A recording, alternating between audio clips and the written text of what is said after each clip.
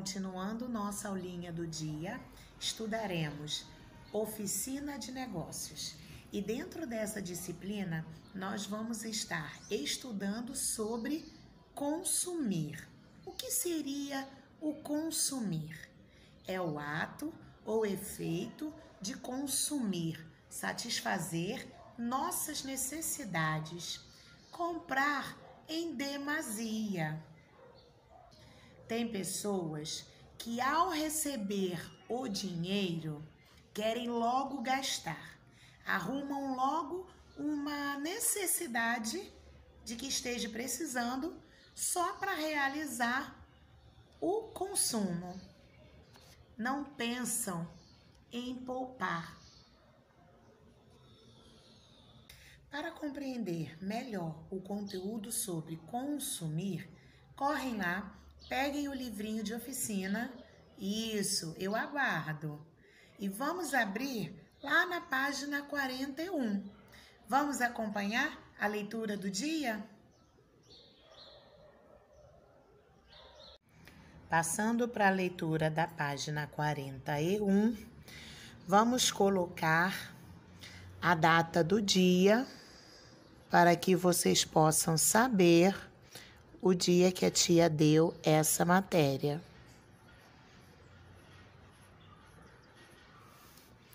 Consumir.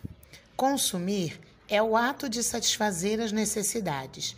Adquirir algo de que precisa para viver, ao mesmo tempo, é realizar os interesses.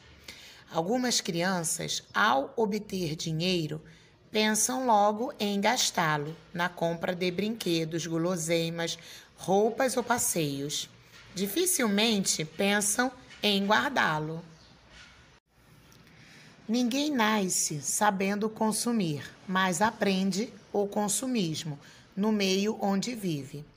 As propagandas na televisão, nas revistas, nos jornais, no computador, o desejo de ter o objeto que o amigo tem são meios favoráveis para o consumismo exagerado. Veja a tirinha abaixo. Mãe, minha amiga comprou uma boneca que fala, anda e faz xixi. Que legal, filha, mas deve ser muito cara. Mãe, eu quero uma boneca igual a dela. Filha, mamãe não tem dinheiro agora. Eu quero. Após termos feito a leitura da tirinha, vocês acham que a menina teve uma atitude correta? Nós não podemos ter essa atitude consumista. Nós temos que analisar a situação, saber se o papai e se a mamãe podem comprar o que a gente deseja. E se não puder, saber esperar, porque terá um mês, terá algum dia, eles vão conseguir comprar para dar para vocês. Passando para a atividade de fixação da página 42. Número 1. O que a menina pediu para a mãe comprar? Desembaralhe as letras e descubra. Então, vocês vão desembaralhar para formar a palavrinha e vão escrever aqui embaixo. Na sua opinião, a menina precisa desse produto para viver? Explique sua resposta. Então, vocês vão expressar a opinião de vocês aqui nas linhas. Número 2. Encontre no diagrama cinco palavras que estão ligadas ao consumismo. Então, vocês vão procurar essas palavrinhas lá no diagrama. Passando para o número 3, observe o terceiro quadrinho da tirinha. Eu quero. Observem a imagem. Você concorda com a atitude da menina? Justifique sua resposta. Então, vocês vão escrever a opinião de vocês nas linhas abaixo. Não esqueçam de dar pause no vídeo de vocês para que vocês possam fazer os exercícios. E logo, logo a tia retorna fazendo a correção. Passando para a correção da página 42, exercício número 1. O que a menina pediu para a mãe comprar? Desembaralhe as letras e descubra. Então, vamos lá, desembaralhando as letras. Vou formar a palavra.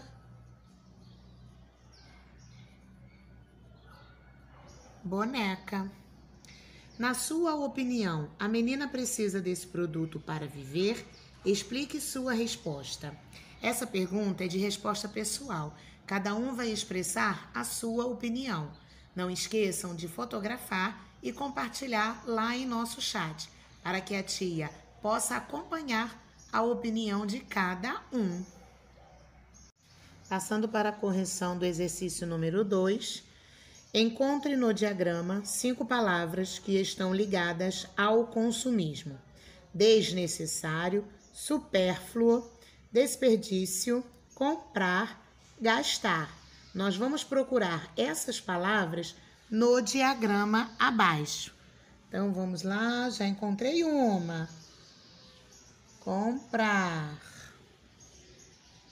Vamos procurar desnecessário.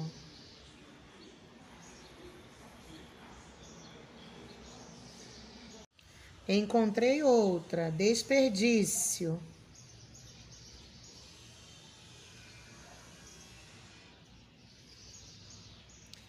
Encontrei outra, supérfluo.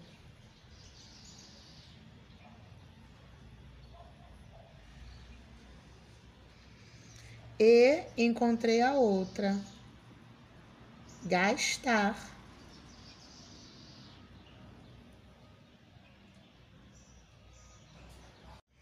Número 3.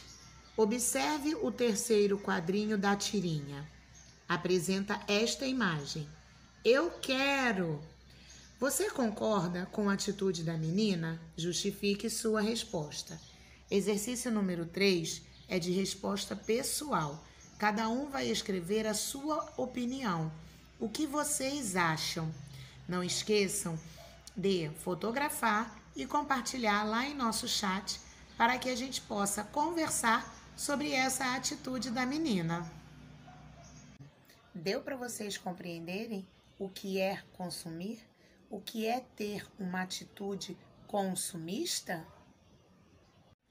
Então, eu desejo que vocês tenham um bom diálogo com o papai, com a mamãe, que vocês possam expressar para eles o que vocês desejam, o que vocês almejam, mas que vocês tenham a sabedoria, tá? Quando eles disserem agora no momento não dá, Espere um pouquinho, que vocês tenham a sabedoria de compreender os argumentos do papai e da mamãe. Aí sim fica uma atitude muito legal para vocês. E assim a gente encerra nossa aulinha de oficina de negócios por hoje.